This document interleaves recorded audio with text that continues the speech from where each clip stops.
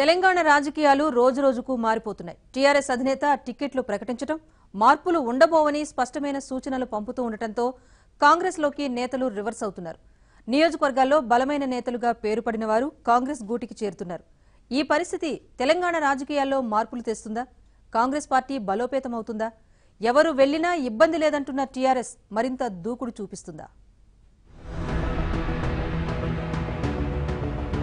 అసెంబ్లీని రద్దు చేసిన వెంటనే కేసీఆర్ నూట ఐదు మంది అభ్యర్థుల్ని ప్రకటించారు. నిజానికి ఇది ఒక రకంగా సాహసమే. ఎందుకంటే గత మూడేళ్ళుగా కాంగ్రెస్ టీడీపీల నుంచి ముఖ్య నేతలందరూ టీఆర్ఎస్లో చేరిపోయారు.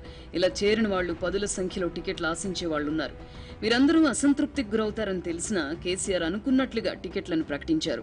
సహజంగానే టికెట్ ఆశించి టీఆర్ఎస్లో చేరిన వారికి ఈ జాబితా తీవ్ర అసంతృప్తి కలిగించింది. దాంతో అవకాశాల కోసం ఇతర పార్టీల వైపు ముఖ్యంగా కాంగ్రెస్ వైపు చూడడం ప్రారంభించారు. ఆ చేరికల జోరు అంతకంతకు పెరుగుతూనే ఉంది.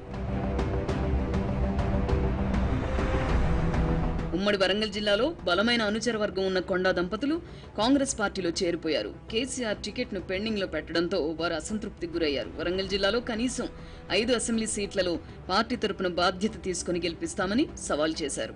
కొండ సురేఖతో తెలంగాణ మొత్తం ప్రచారం చేయిస్తామని టీపీసీసీ చీఫ్ ఉత్తమ్ కుమార్ రెడ్డి ప్రకటించారు. ఆదిలాబాద్ జిల్లా నుంచి మరో ముఖ్యమైన నేత రమేష్ రాథోడ్ కూడా కాంగ్రెస్ పార్టీలో చేరిపోయారు. టీడీపీ హయాంలో జిల్లాలో చక్రం తిప్పిన రమేష్ రాథోడ్ ఖానాపూర్ టికెట్ హామీతోనే టీఆర్ఎస్లో చేరారు.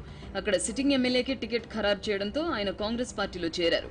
యాభై స్థానాల్లో గిరిజనుల ఓట్లన్నీ టీఆర్ఎస్కు వ్యతిరేకంగా పడేలా చేసి కాంగ్రెస్కు లాభం చేకూరుస్తానని ఆయన సవాల్ చేస్తున్నారు.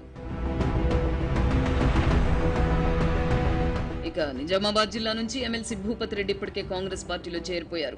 రేపో మాపో రాజ్యసభ సభ్యుడు డిఎస్ కూడా చేరతారన్న ప్రచారం జరుగుతోంది.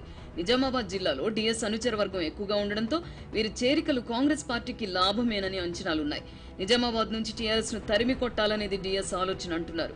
ఇక నల్లగొండ జిల్లా జడ్పీ చైర్మన్ బాలు నాయక్ కాంగ్రెస్ పార్టీలో చేరారు. ఆయన నల్లగొండ జిల్లా దేవరకొండ టికెట్ ఆశించారు. అక్కడ సిట్టింగ్ ఎమ్మెల్యేకి టికెట్ ఇవ్వడంతో మళ్ళీ కాంగ్రెస్ పార్టీలో చేరిపోయారు. టికెట్లపై కేసీఆర్ మనసు మార్చుకోకపోతే మరికొంతమంది నేతలు తమ పార్టీలోకి వస్తారని కాంగ్రెస్ నేతలు ప్రచారం చేస్తున్నారు. టీఆర్ఎస్లో అంతకంతకు పెరుగుతున్న అసంతృప్తిని వీలైనంతగా క్యాష్ చేసుకోవడానికి వ్యూహాలు రచిస్తోంది.